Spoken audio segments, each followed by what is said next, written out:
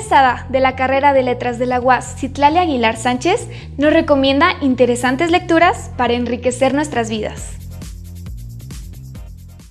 Hoy les quiero recomendar un libro de ensayo de Haruki Murakami, escritor japonés.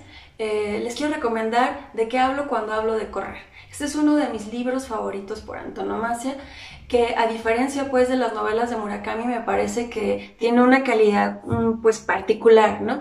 Yo a Murakami lo conocí por su novela pues más famosa que es Tokyo Blues, en la que básicamente pues nos relata la historia de un joven, de un adolescente eh, que pues por medio de una canción de los Beatles eh, empieza a reflexionar y a recordar eh, ciertas pasajes de su vida y bueno pues hacemos un recorrido con él por la ciudad, por algunas comunidades o algunos sitios pues de, de Japón y pues de la cultura japonesa, de su comida, de sus costumbres, etc. Pero básicamente, pues, es una novela un poco de iniciación, ¿no? Que nos recuerda incluso al guardián entre, entre el centeno de J.D. Eh, Salinger, ¿no? que también pues es la historia de un adolescente que recorre Nueva York y que va disertando sobre el amor y la amistad y la familia y todos estos valores, eh, pues en el caso de Murakami es algo similar, ¿no? Eh, en Tokyo Blues pues nos hace también eh, reencontrarnos con, esa, con esas crisis que creo que todos tuvimos durante la juventud más tierna, pero en el caso particular de este ensayo de qué hablo cuando hablo de correr, pues encontramos al Murakami como tal, ¿no? al escritor, a la persona, a su personalidad, a su vivencia, dado que eh, Haruki Murakami pues es maratonista, ¿no? Y en este ensayo pues realmente nos encontramos con él de frente a frente. El título hace, eh, digamos, mención o, está ligado pues a de qué hablo cuando hablo de amor de Raymond Carver, ¿no? este libro de cuentos maravillosos.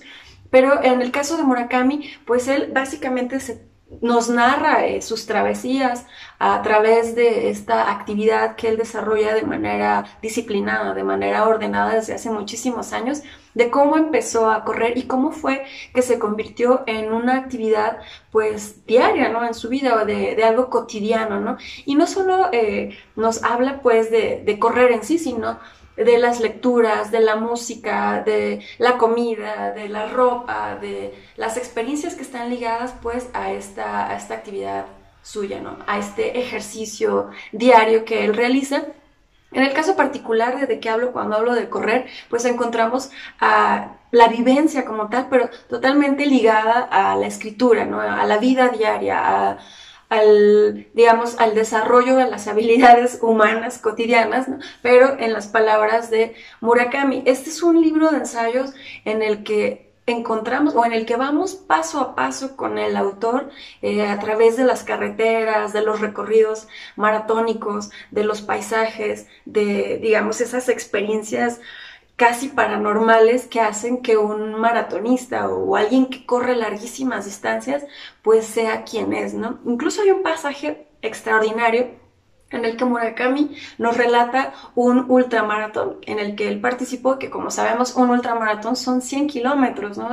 Pues se te van prácticamente un día corriendo, ¿no? Entonces, eh, la, digamos, la, la epítome de esta actividad, pues puede ser un ultramaratón, pero también a nivel psíquico, mental, eh, emocional, eh, sentimental, pues Murakami llega a una revelación, a una gran epifanía y nosotros con él, ¿no? De, su lado, de su mano.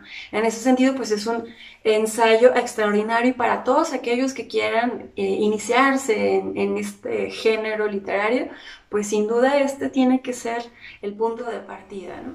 Yo soy Citlali Aguilar y nos vemos en la siguiente recomendación literaria.